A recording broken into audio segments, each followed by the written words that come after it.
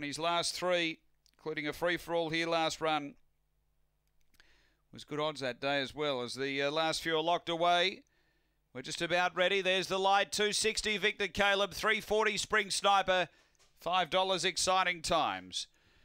Racing in the middle, Victor Caleb came out running. It's going to cross down and lead. Win some money, moves up a couple away. Aston Marquee and then Be Perfect Spring Sniper. Next, Jackie D. Exciting times and Long Gully Boy off the back. Win some money, moving up to Eyeball. Victor Caleb who's lifting back. Then Aston Marquee up to the turn. Win some money and Victor Caleb. Victor Caleb responding back on the inside and Victor Caleb goes on to beat Win some money. Spring Sniper out of the pack into third. Uh, then Aston Marquee. Behind those came exciting times. Long Gully Boy, Jackie D, and Be Perfect.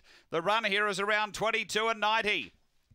After race number eight, uh, seriously challenged uh, was uh, Victor Caleb, but responded to win.